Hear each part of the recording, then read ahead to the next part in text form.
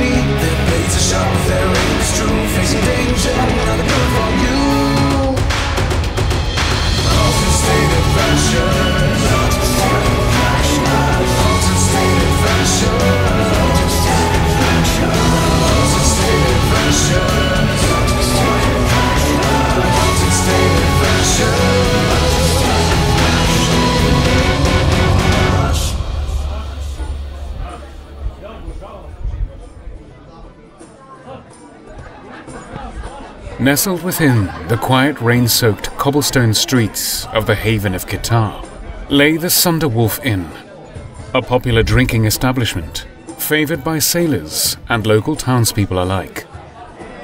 Pazrael and Krumpet, having overheard a tale of a crazed man, and more importantly, of a strange stone tablet, interrupted the storyteller and sat down at his table. They listened intently as the priest told him of the night's events, of how the man had entered his church, how he had seemed torn between two callings. The human soul that the priest saw behind the man's eyes seemed to be pleading, calling for help, wanting to alleviate the burden of the tablet. But some possessive force or unseen entity was clawing at him, pulling him away and forcing him to leave. Pazrael leaned forward. Tell me, Father, do you know the whereabouts of this man?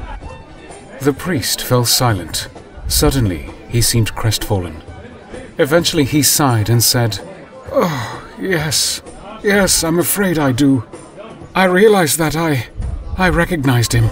It's a small town, you see. Yeah, we understand, sir. But can you tell us where he is, though? You. You won't harm him, will you? He seems entirely innocent. I believe him to be possessed. Or worse. Nothing will happen to him, Father. We only want to help relieve him of the tablet. The priest lifted his head, his eyes wide open. It must be destroyed. You will destroy it, won't you? Pazrael shared a glance with Krumpet before telling their side of the story. Under the table, he clutched tightly at the bag, holding the container that concealed the other half of the tablet. We are on a quest, Father. We mean to collect both parts of this tablet and vanish them from this realm.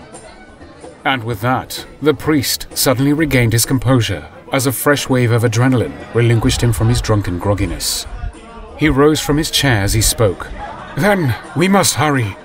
Quickly, before this god-forsaken tablet can do any more harm. Krumpet, slightly miffed that he had not had a chance to finish his ale, jumped up and began to follow the priest, who was now moving with some pace toward the exit. Where are we going now, eh? We must reach the church. I can explain all to you there. Pazrael opened the door and departed the tavern. He was greeted by the coldness of the relentless rain and a paranoia of frosty eyes upon him.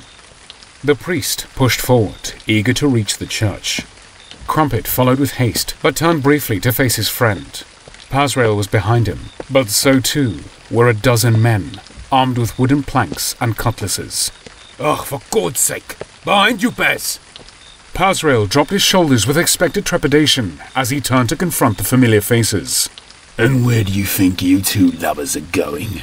Said one of the crew members from the Unsinkable Two. Another joined in. Yeah, we got us a debt that needs paying, haven't we, lads? Several of the men started chuckling. Pazrael counted six in total. The rain fell heavily as the two sides faced each other. The priest, not knowing what this was about, chose to stay out of sight, hidden in the shadows of a nearby alleyway. Ugh. Listen, I'll give you lot one last chance to run away back to your little ship before you get seriously hurt. But the men said nothing, lifting their weapons as they stepped forward. Pazrael sighed and reached for an arrow. For some reason, it shone blue. He realized then that these men were not savages. They were driven to this madness by their close proximity to the tablet. It had affected them slowly but surely upon their voyage from Calcutta to Tulumisho, and it had resulted in a scuffle that had seen one of their friends have his arms severed. This vengeance, although justified in their eyes, would surely still be under the enforced influence of the tablet. The blue arrows would deal a quick, compassionate death if needed, We don't need to do this. said Pazrael as he lifted his bow, the glowing blue arrow poised for release. A crew member pointed his cutlass at Pazrael. Ain't your choice to be making, mate. Pazrael sighed as he prepared to fire the arrow. But suddenly, a blur of anger and violence was unleashed before him. Krumpet, it seemed, had had enough. And upon activating some inner power, he rushed upon the men with a speed Pazrael had not seen before. The crewmen immediately became distressed, scattering out of formation in panic and chaos. Cutlasses lashed out at the dwarf, but his axe and shield deflected every blow. Brilliant flashes of light flew in every direction with every impact. Krumpet's armory, when used with extreme smite, expelled an anger and fury forged from the Stormlord himself. Blood began to spray onto the cobblestone streets and flowed with the rainwater down towards the shaking priest. Cries of anger were quickly replaced with cries of pain as Krumpet's steel swung an arc through the air with blurring speed. Pazrael stood motionless in bewilderment and awe and lowered his bow.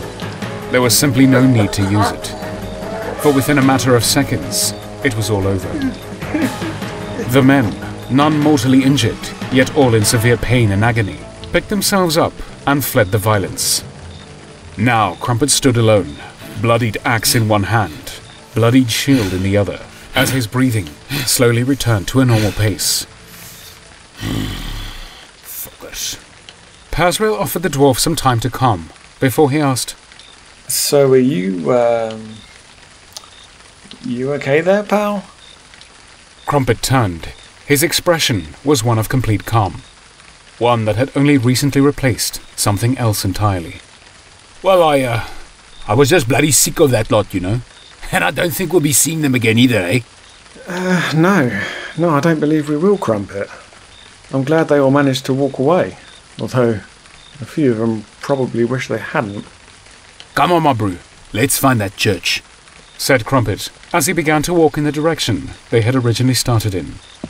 The priest, now out of hiding, rushed over to Pazrael and whispered, "Uh, The dwarf!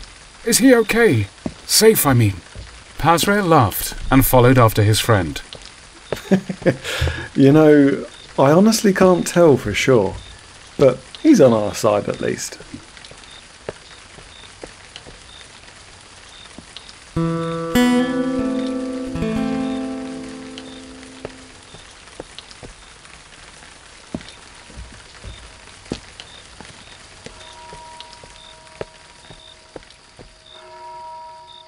As the rain began to ease off and the cobblestone streets gave way to muddy roads, they found themselves at the gates of the old church.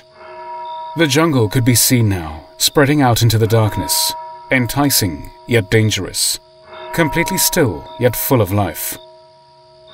Two slim shadows emerged from behind the building and darted across the road. The priest reacted instantly, shouting at them. Ah! Get away from here, you thieves! Huh? Is there a problem here? asked Krumpet. The priest responded quickly, not wanting any more violence. no, no, they won't harm anyone. We have a problem with thievery around here. Those pesky elves. Anyway, it's nothing to worry about, son. he said as he opened up the large wooden doors. And the trio entered the cold stone building. Inside, the smell of damp stone and stale candle smoke mixed with a faint musty smell of old books. The priest wasted no time lighting several candles around the altar before disappearing into an unseen room to collect some items. Pazrael and Krumpet took in the surroundings. It was small enough, but somehow appeared grandeur in its height and decoration. The large stained glass window added color and beauty to the dull stone walls. Ah, here it is, said the priest upon his return. He placed an enormous leather bound book upon the altar and opened it up to a specific and recently marked section. You see here, these paragraphs refer to the ancient scrolls that were discovered during the Dark Times, when evil freely wandered throughout the mortal planes, searching for something. Searching for what? I believe that they were looking for the tablet. You see here. The priest pointed towards several depictions of battle, man and beast engaged in mortal combat. My fellow brothers from the Holy Order battled with them to save our souls, all of our souls, and they banished the underworlds from this plane. Pazrael studied the drawings. The men, all wielding glorious shining weapons, were dressed in brilliant white robes fastened to their bodies with immaculate looking armor, a uniform for the gods. How did they achieve this? That knowledge is sacred to the Order, my child. Rest assured, if you fail in your quest, they will return. Hmm. I would question why they are not here already. If you believe this plane to be free from evil, then you are mistaken. I've had many battles with these beasts. Uh, lesser devils, maybe, but these creatures are something entirely different. Still, if you have already confronted these beings, then. Well, it would take a summoning for them to return, or. Or what? Or, if they were to find the tablet, it is said it could harness an unknown power. Look, The priest pointed up to the glass window. it must be destroyed. I. I thought it was me, but I see now it is you, both of you. You have been chosen by a higher power. You must destroy it. You must destroy the tablet. Pazrael and Krumpet shared a glance. No words were spoken between them, but it was in that very instance that they both agreed. They would play out this charade for the Smoke Man, but they both now accepted that the tablet must be destroyed, no matter what the cost. We will destroy it, Father. I can promise you that. But we must find it first, and then we will banish it from this realm. The destruction will surely follow afterwards. Father, we plan to enter the Nine Hells. The priest staggered. Baator? Yes, and we will destroy it in the very fires we believe created it. Somehow. Oh, my children, if you are to undertake such a journey, you will surely. Hold on, please. The priest scuffled away and disappeared once more. This time he returned with larger items. He handed them to the willing adventurers. Here, please. Take these. Pazrael and Krumpet accepted the large garments and studied them curiously. Essentially, they were long, thick, crimson capes with a gold chain and fastening clips around the neckline. The cloak of Baator. They will offer you protection from all levels of the Inferno. They were gifted to me a long time ago by a mighty sorcerer once very close to me, but now sadly lost from this realm. Thank you, Father. We will use them. The priest laughed. Oh, yes, yes. You will indeed use them if you plan to survive.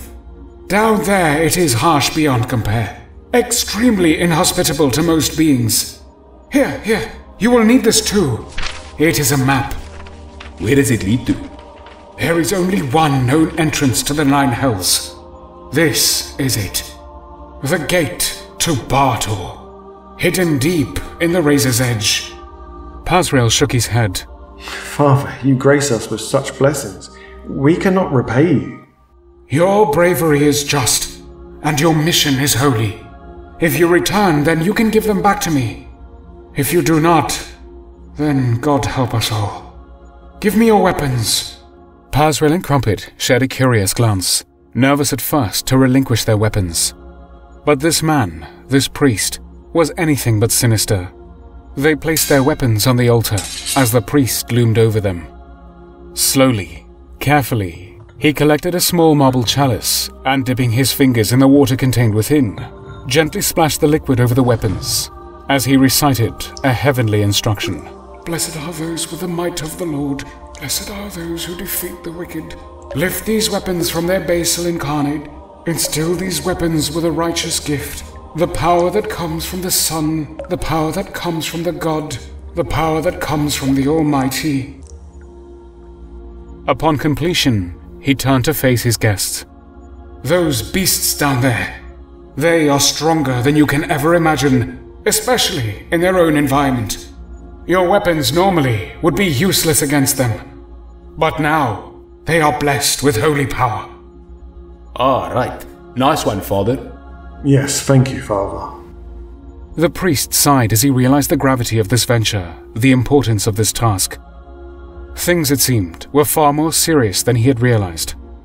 And now, you must know this man's whereabouts. He resides further down this street. When you reach the clock tower, turn left until you come across the hay bales. His residence is opposite. I believe you will know when you are near. All right, let's be off then. Thanks again, good sir, and God bless you. The priest frowned. Uh, Cord? Pazrael smiled. Don't ask. Indeed, said the priest as he walked with them to the entrance of the church. Now, he offered them one last piece of advice. I feel I must warn you that the tablet holds a disturbing evil. I felt it when the crazed man came to me, and I can feel it now too. I suspect you already have part of the tablet on your person, but I do not wish to know. No good can come from that thing. Pazrael simply nodded as the priest continued. You know that deception lies at the heart of all stories once evil is involved. I will pray to see you both again. And with the priest's parting words lingering in their thoughts, weighing heavily in their minds, Pazrael and Krumpet left the church grounds and made their way down the long, muddy road in search of a crazed man.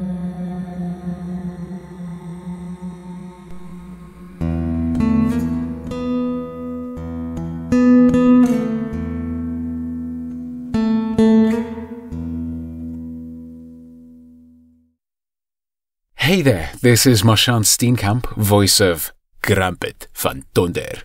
and various other characters in the Mutiny of Baator. If you like what we're doing, then you can help us grow by liking and reviewing our content, as well as subscribing to our channel. We thank you, and we'll see you next time on the channel.